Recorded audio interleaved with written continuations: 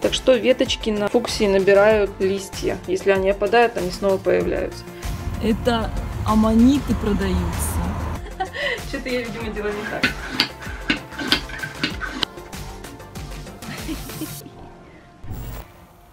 Мася отдыхает. А Таня с Микой садовничек. Вот, и Мася стала помогать. Таня. Надо отборку обработать. Тань, что ты делаешь, а? Я колиус пересаживаю. Меня был- Мамочка, Ага, хорошо. У меня был это... Это таймер сработал. Да, у меня я суп варю. И это, у меня просто колиус был некрасивый, я его распотрошила, сейчас на улице посажу, а этот в доме будет. Все заняты. Да. Ну, придется прерва- прерваться, потому что у меня там суп ждет меня. Ну ладно, это завянет. Мася играет орехом. Мика стоит, виляет хвостом. Таня пошла. Села. Что-то там делает. Мика на нее смотрит. Смотрит на меня. Вышел Макс. Вышел и что-то хочет сделать. Одеть тапки.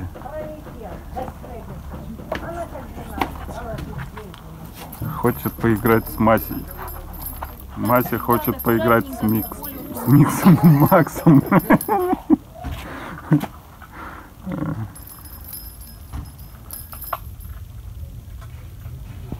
Нет, она хочет поиграть с его рукой. Всем привет, мои дорогие любимые друзья. Уже середина осени. И я считаю, это самое благоприятное время для того, чтобы наконец-то разобрать шкаф, убрать летние вещи и достать теплые вещи. У нас еще на улице достаточно тепло, температура доходит до 29 градусов тепла. Буквально сегодня еще ходила вот в этом вот платьишке, вот в этом вот. Ну, правда, взяла с собой джинсовую куртку, эту, но так ее не одевала, потому что жарко. Ну, например, такие вещи, как э, вот сарафаны, которые у меня вот такие, я их уже сто процентов одевать не буду. И уже нужно доставать э, свитера, которые у меня спрятаны в кровати. Сейчас буду открывать кровать, доставать все вещи, наводить порядок в шкафу. Вот у меня что здесь творится. А, все складывать, видите, прям ужас. Вроде как в порядке, да не в порядке. То там брошено, то там брошено. В общем, буду наводить порядок. Вот, здесь так у меня вообще все накидано. По ящичкам, о, и вертикальное хранение. В общем, нужно наводить порядок, убирать летние вещи, доставать теплые. И как раз у Макса появился шкаф. Я туда только сложила его вещи школьные, домашние. Он стоит пустой до сих пор. Вот как раз сейчас появилась возможность разобрать вещи, которые у нас лежат в кровати. Потому что там сразу все, и мои, и Лешины, и Макса, все перепутано. Сейчас у нас появилось очень много мест для хранения. Сейчас я буду это все перебирать, наконец-то. Ну, у меня, знаете, и настроение сейчас такое это все делать. Начнем с разбора вещей в кровати.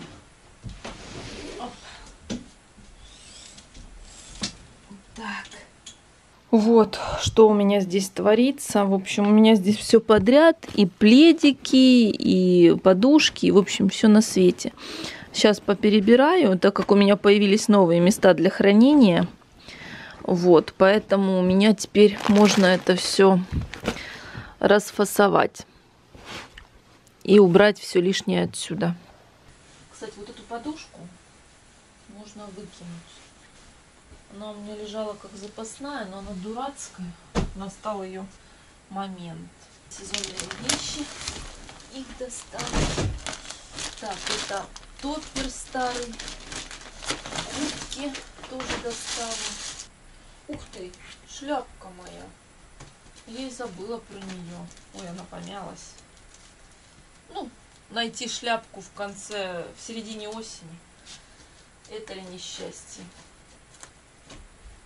Так, весенние вещи сезонные. Это тоже вещи сезонные.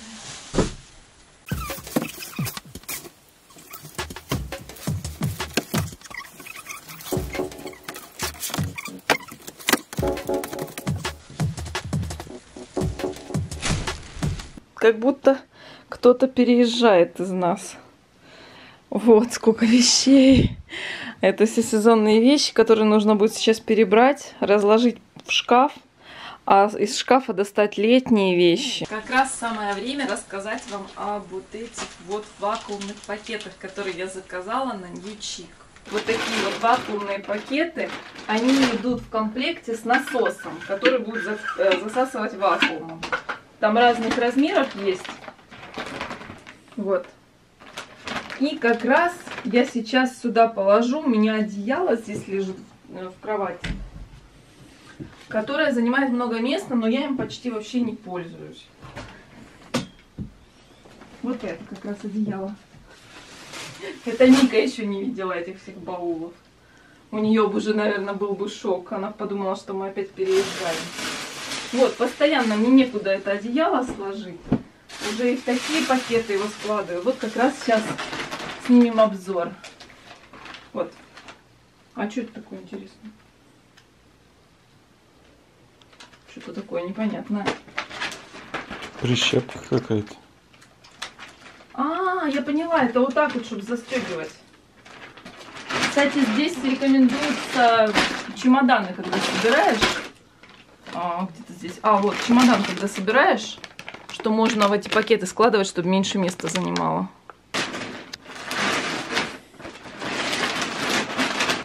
Так, для того, чтобы точно закрылась плотно, потому что у нас будет высасываться воздух. Да мне кажется, руками можно так сделать, нет? Руками я пробовала, когда не знала, что вот эти штучки есть. Руками вообще. Знаешь, можно какой-то участок пропустить. Так, ну что, теперь самое интересное. Угу. Так, вот он. Здесь получается такой, как клапан идет цвет насоса. Все розовенькое. Так, это тоже, наверное, накручивать надо. Что-то я, видимо, делаю не так. По-моему. А, он просто маленький. Если не пылесос. Кстати, наверное, и пылесос можно подключать. Как здорово, на меня дует прохладный воздух. Продуманная. О, чувствуется, что уже вакуум. О, блин, у меня мышцы вот тут болеть начали. Ну, я думаю, хватит.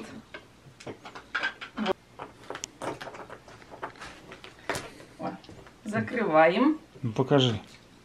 Что именно? Блинчик? Ну, сбоку покажи. Вот, получается вот такая вот mm -hmm. штучка. Ссылочку на эти вакуумные пакеты я вам оставлю в описании под видео. А, меня интересует такой вопрос. Что же будет с этим одеялом, если, например, полежит где-то месяц? Не деформируется ли оно? Как ты думаешь? Ну, мне кажется, просто взбить его и да? все. Ребят, ну, будет нормально. Мы через несколько месяцев откроем это одеяло и продолжим обзор вакуумных пакетов. А Если... А что это за одеяло? Из чего оно? Ну, какое-то силиконовое. Силиконовое? Угу. Синтепоновое? Нет, силиконовое. Так и называется силиконовое одеяло. Ну, в общем, если я забуду, напомните мне. Мне самое интересно, что будет с этим одеялом. Вообще так и подушки можно, и пуховики.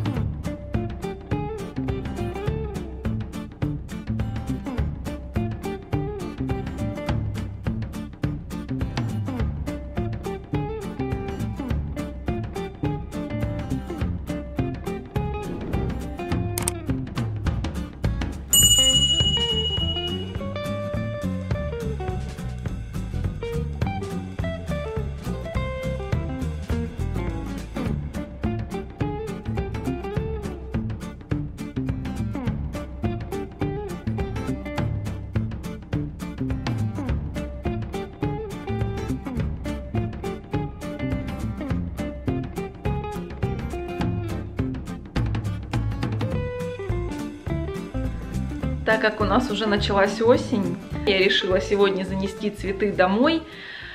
А, оказывается, у меня столько домашних цветов, у меня все подоконники теперь переполнены цветами, и у меня же есть ампельная герань. Я очень долго думала, куда мне ее прицепить, потому что она очень низко свисала, висела на заборе. И, в общем, ее поставила сюда на полочку. Не знаю, будем надеяться, что ей будет хватать света. Но солнце сюда светит вроде достаточно ярко. Вот, будем надеяться, что ей будет здесь хорошо. Вот она очень низко вот прям опустилась, и обрезать эти все веточки не хочется. А вот, все цветочки поставила на подоконники. А некоторую герань оставила, некоторую занесла. Вот, видите, она цвет, цвести собирается, прям жалко. Вот, хочу показать фуксия. Она у меня из-за жары летом стала ну, плохо себя чувствовать. Ой, я что, ее не полила сегодня? Что-то она какая-то вялая, надо полить. Вот, и сейчас, смотрите, спустя два месяца у меня оставались только палочки. Я пообрезала все веточки, и вот они стали потом покрываться зеленью, и вот уже спустя два месяца цветут, как и раньше. Просто они, видите, не любят, когда слишком жарко. И видите, вот это все листики, которые попадали. Так что веточки на фуксии набирают листья. Если они опадают, они снова появляются. Сейчас полью ее. Что-то я ее не полила. И вот так вот смотрится герань, красавица. Дай бог, чтобы ей здесь было хорошо. Вот у меня здесь тоже герань. У меня очень много герани, она вся цветет, вся красивая. Вот эта герань росла в кашпо, тоже постоянно цвела. Там тоже цветочки завязываются, там белая герань, по-моему. Все занесла домой. Вот, вот этот цветочек у меня еще в клумбе растет. Нужно его куда-то пересадить, не знаю пока куда. А колиус у меня так безобразно рос. Он был какой-то не сформированный. В общем, я его обрезала сегодня, разделила на, а, в общем, веточки. И вот посадила здесь в горшочек две веточки, три веточки посадила и на улице рассадила. У нас в Краснодаре его высаживают на зиму. В Геленджике, в Краснодаре он просто украшает клумбы. Ну, в общем, посмотрим, как колиус э, переносит зиму в Краснодаре. Сегодня, кстати, пробовали перец. Он такой красивый, еще стоит пока. Решили попробовать, какой он на вкус. Не очень острый, ароматный, хороший перчик. А вот этот цветочек мне соседка дала. Сейчас приближу вам. Прям с горшочком дала. Вечно зеленый кустик. Не знаю, как называется, но очень красивый. Вот. А я и перчик даю. Я ей весь перец отдам. Мне он не нужен, мы острое не любим. Перец цветет, несмотря на то, что на улице уже похолодало. Вот здесь вот оставлю эту герань. Она здесь и не цвела, потому что солнце сюда не попадает. Ну, посмотрим, как, сколько градусов она переносит. Еще вот ту ампельную герань я оставляю здесь. Вот эту герань оставляю. Вот эти цветочки нужно будет завтра пересадить. Не помню, каланхоя, по-моему, называется. И вон там, вон колиус пересадила туда. И здесь тоже рассадила. Просто э, корневином смачиваю. Вот так вот э, дергаю, тыкаю в землю. И он достаточно быстро приживается, колиус. Этот уже отцвел, ну пусть пока побудет. Мне говорили, этот цветок вроде сентябрьник называется или как. Он мне что-то никак не зацветет. Уже сентябрь прошел.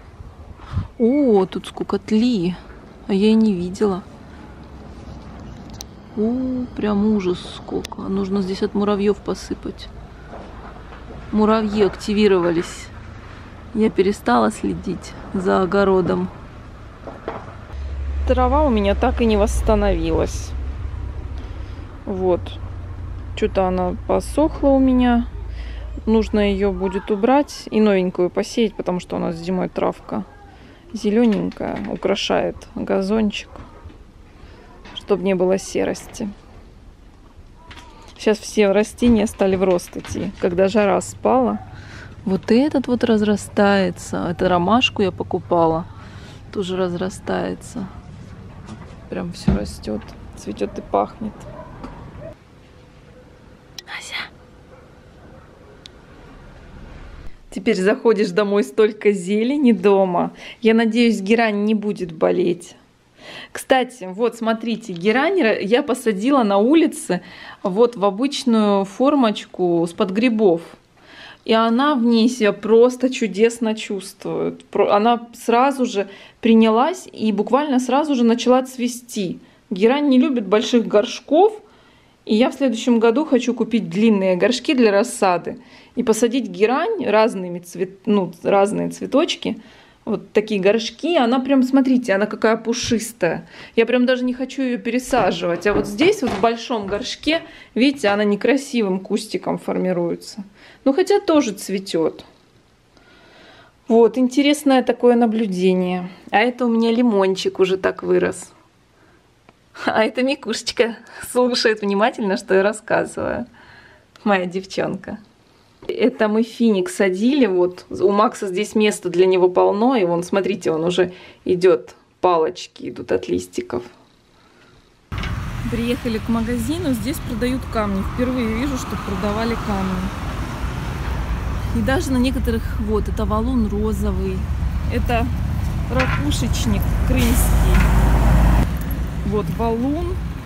Но что мне больше всего здесь понравилось, вот эти камни можно все приобрести – вот это я увидела, и это аммониты продаются. То есть их реально можно аммониты найти. Это круто. Бонус. Камень называется бонус. 15 рублей за килограмм. Вот такой вот камушек. Блин, это так интересно, оказывается. Дальше песчаник обычный. 13 рублей за килограмм. Яшма. Красный вот такой камушек называется яшма или яшма. 21 рубль за килограмм. Но он красивый, очень красивый. Его на какое-нибудь дно прозрачного водоема с рыбками этими оранжевыми будет красиво. Так, гранит рваный. А это тоже песчаник, только другой формы. Видишь, он как эти. Это песчаник такой, а это песчаник такой. Это 13 рублей. Ну, это один тоже 13. Так, здесь это тоже песчаник, более крупные, тоже 13 рублей килограмм. Это мрамор медовый. А это что? Акад. Надо запоминать название камней. Это так интересно. Смотри, мрамор медовый. Смотри, какой он интересный. Сейчас попробую. Он прям переливается. Он такой, как кусок соли. И блестит весь. Так, это тоже песчаник. Но песчаник я уже стала угадывать. Дальше, это тоже мрамор. Мрамор молодой. Смотри, какой красивый. Прям очень красивый. Но это тоже этот, как его, блин, забыла, ракушечник. Вот на нем цены нет, мне прям, а вот, 20 рублей. А, это Миотис, правильно называется, крымский. Ну да, в Крыму с него дома строят. Интересный тоже камушек. Так, дальше. Здесь я не показывала. Но это тоже как гранит или что? А, я его показывала. А, это мрамор. Мрамор черный, 16 рублей за килограмм. А это акад. Акад цветной. Вон. И розовый, белый, голубой, желтый вообще прям зеленый какой-то, вот тоже голубой. Не знаю, как камера передает цвет. Мрамор этот красивый очень. Мне прям с Лешей хочется еще. Ой, прям зеленый-зеленый камушек, смотри. Вот тут вот. Так, дальше. Это тоже мрамор. А нет, это кварц. Ах, кварц. 17 рублей за килограмм. Прикольно вообще, так интересно. Так, это скальник а это кварц. Ты знаешь, я кварц с мрамором путаю. Я такого, это мы когда ездили в горы, там много вот такого вот камня. Хотя он по ощупи, на ощупь отличается кварц от мрамора. Мрамор более гладкий. О, а это галька тоже такая. Ее специально искусственным путем создают. Ну и так быстренько уже покажу. Вот это тоже красивая.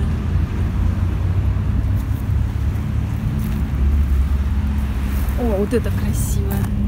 21 рубль за килограмм. Класс.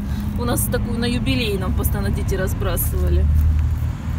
А там целые эти мешки с этим всем добром. Я обратила внимание, что у нас, это мы в доме в этом нашли во дворе, вот такие вот камушки есть. И вот этот вот камушек такой красивый. Его если намочить, о, вообще красивый. Я теперь на камни смотрю с другой стороны. Это ж покупают камни за те цены, которые я показывала. Мика весь цветок помяла. Он такой красивый стоял. Наверное, камушек под него. Так вот подложу. О, бедняжечка.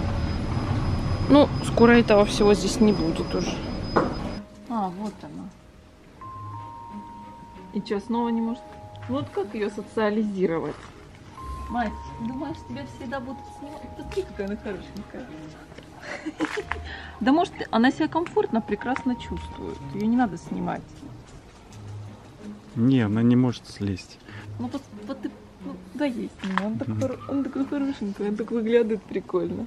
Мгм.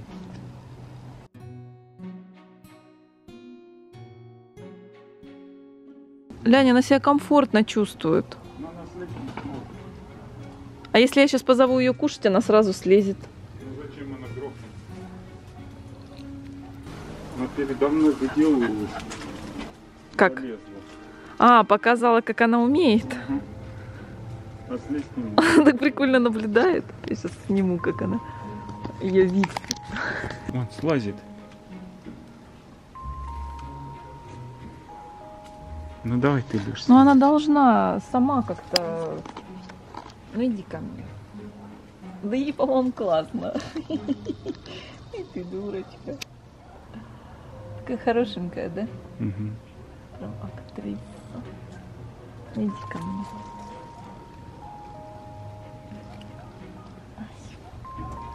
Маленькая девочка.